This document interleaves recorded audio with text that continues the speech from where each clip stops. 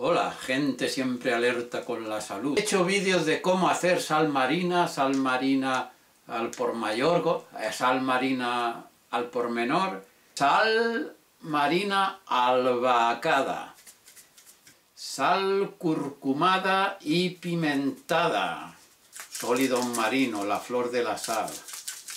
Hace ruido, le pongo clavo que ayuda a mantenerla más seca, limpia los orificios. Estos envases me van muy bien porque tienes unos orificios suficientes y cierra herméticamente. Herméticamente. La sartén de agua de mar hasta el borde. Fuego vivo hasta que el burbujeo produzca una coreografía explosiva. Con paciencia marina espero una hora hasta su nuevo control.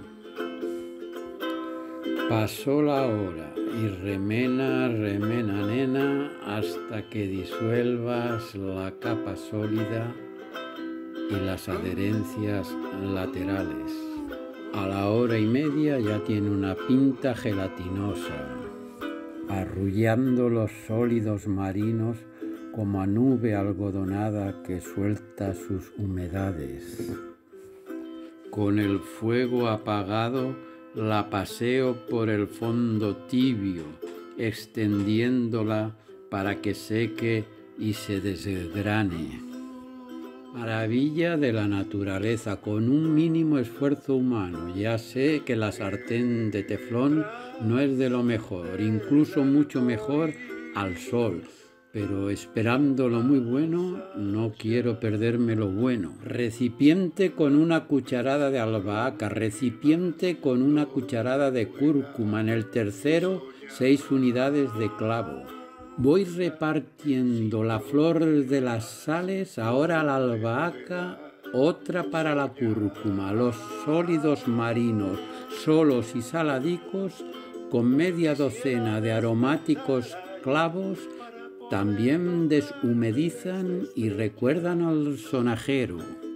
Para llenarlos del todo, para llenarlos los tres, he repetido de nuevo, he comenzado otra vez y así ya tengo cubierto hasta el lunes de Pentecostés, la verbena en la playa y a coger más agua nueva agitando con salero que paséis las navidades y año nuevo con salud y buen humor entre besos saladicos.